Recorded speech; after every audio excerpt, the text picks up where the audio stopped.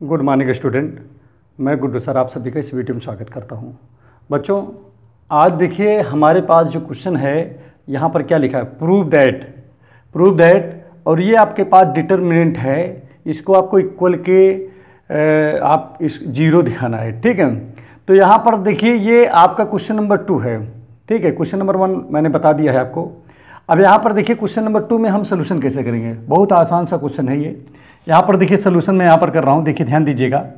देखिए, यहाँ पर लिखा हुआ है A plus B B plus C C plus A और यहाँ लिखा है सी ए बी और वन वन वन ठीक है?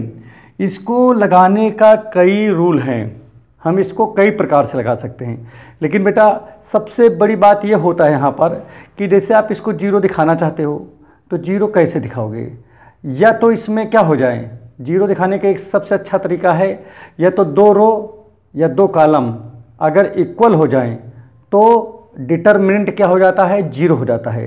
तो चलिए चेक करते हैं क्या ऐसा करने में हम कामयाब होंगे। ठीक है? तो यहाँ पर देखते हैं क्या है। देखिए, यहाँ पर वन वन वन लिखा है। लेकिन एक एक बात यहाँ पर दिख रहा है कि अगर यहाँ पर मैं चाहूँ, जैसे ये आर वन वाली लाइन है, इसमें चाहे A plus B plus C यहाँ पर देखिए, इनको आर वन के साथ आर टू ऐड करेंगे तो क्या आएगा? A plus B plus C इसमें भी क्या आएगा? A plus B plus C तो आर वन से A plus B plus C क्या कर लेंगे? कॉमन कर लेंगे। तो वन वन ये भी हो जाएगा और वन वन नीचे है ही है। तो अगर दो इसमें देखिए रो का इक्वल हो जाएँगे तो ये क्या हो जाएगा? ज़ीरो हो जाएगा। तो सबसे अच्छा तरीका क्या है? यहाँ लिख ही लेते हैं हम। R one equal R one replace R one plus R two ठीक है? अर्थात इसका मतलब क्या होता है? इसका मतलब सीधा से ये होता है कि आर वन और आर टू को ऐड करो और आर वन वाली लाइन में लिख दीजिए। भाषण में आगे नहीं आगे चलिए वो करते हैं ऐड करते हैं। A plus B plus C तो हो जाएगा A plus B plus C ठीक है? इसको भी ऐड कर दीजिए इसके साथ। तो ये भी हो जाएगा A plus B plus C हो जाएगा। ठीक है? इसके साथ इसको ऐड कर दीजिए, देखते क्या A plus B plus C ये भी हो गया। ठीक? बाकी जैसा लिखा है, वैसे लिख दिया बाकी को। बाकी में कोई चेंजिंग नहीं किया। वन वन वन बोलो क्लियर हो गया, नहीं हो गया? अब देखिए, यहाँ भी A plus B plus C है A plus B plus C यहाँ भी है, यहाँ भी है।